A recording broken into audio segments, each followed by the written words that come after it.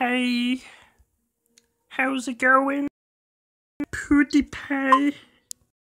Today we play PewDiePie. um, yeah. This is happening.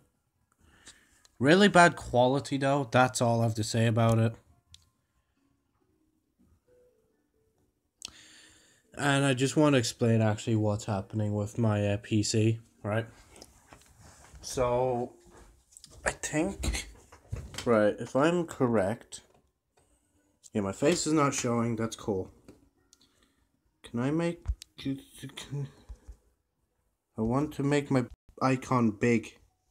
Anyway, I think it started, so I can't change it. Oh yeah, this is lethal now, isn't it? Lethal. Okay, so instead of actually trying to do something useful, I'm gonna explain it here, right?